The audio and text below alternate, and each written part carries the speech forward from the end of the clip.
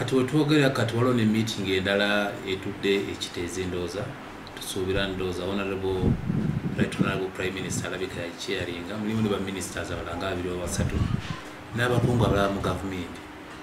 Kati omulanga gwe tukuba kati bakama baffe abatusingako balina okutegeeza eggwanga lyonna nti abantu ddala bekikwatirako ddala baleme kusigalayo kutuma singa be betuukira kubanga bano be batumye be basayininga mu mpapula.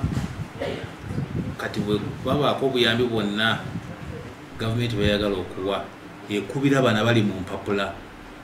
Kati bala basigadde mubyalo bayinza okukaayana naye nga kyandibadde kituufu omuntu yenna asuubira nti ye gwekikwatako ba ye muzadde.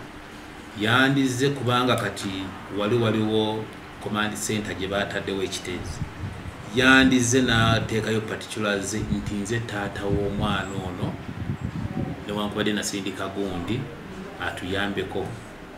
Naye wuuno wano ne bakkiriza ne bakuteeka mu database yaabwe nti gwe gwekikwatako gavumenti oba alina kyonna kyonna kyonna kyeyagala okuwaayo oba okwogerako ekubire ggwe taata oba maama. Ereme kkubira neighbor ereme kkubira chairman kubanga wesanga omulala asindika chairman nasayininga buli kimu nokubira nakuwa abekyalo nayogera nabo nebagaffe tusindisa oyo. Kati nayingira mu bitabo. Kati bwekituuka wali ekyokugaba sente kati awo kijja kuleeta omutawaana kubanga twakiraba nnyo ku incident yaliwo enamuŋŋoona aba boda boda uh, petrol tanka bwe yabwokya